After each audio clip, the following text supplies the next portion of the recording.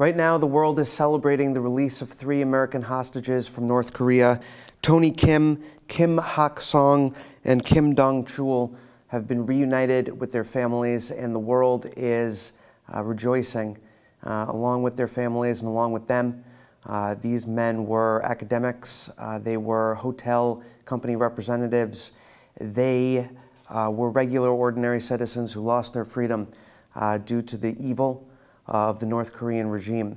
But as these three hostages get released, uh, a new hostage situation is forming. Here's a photo of Mike Pompeo with Kim Jong un. And that is a firm handshake right there that our Secretary of State is giving to the North Korean leader. Kim Jong un looks like he's crying in that picture. And Mike Pompeo obviously looks like he's smiling. So, uh, new video footage has just been released and it's on our site now um, showing the meeting that occurred between Mike Pompeo and Kim Jong un. And uh, this was uh, ahead of the release of these hostages, so obviously a major win for uh, the United States, for President Donald Trump, for Mike Pompeo, and for the team. Um, but more work is uh, yet to be done uh, going into the uh, meeting between Kim Jong un and President Trump. Um, but this is a, a massive moment in, in, in world history.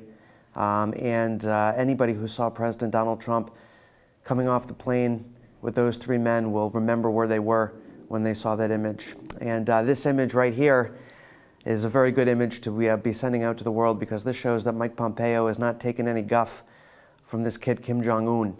And uh, Kim Jong Un is on the ropes, it looks like, and the, the maximum pressure campaign is working. Uh, we're going to keep uh, reporting on this, but you know, obviously, all we can really say is that we're just uh, overjoyed uh, with the rest of the world today. It's, uh, it's a momentous occasion. Uh, please keep reading bigleaguepolitics.com.